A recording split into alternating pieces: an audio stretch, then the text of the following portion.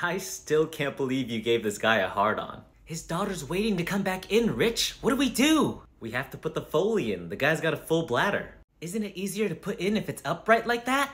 Maybe, but I've never held another man's stiffy before and I don't plan to.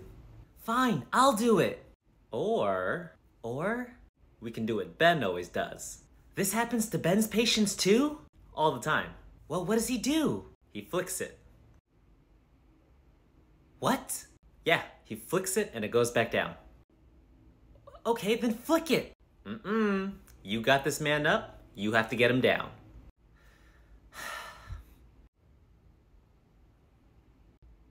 okay, fine. Ah! What? It worked! Go, go, go, go, go, go, go, go, go.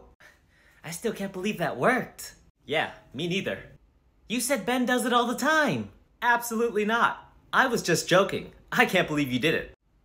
You made me flick an old man's bone? Ben, come here. Guess what Austin just did?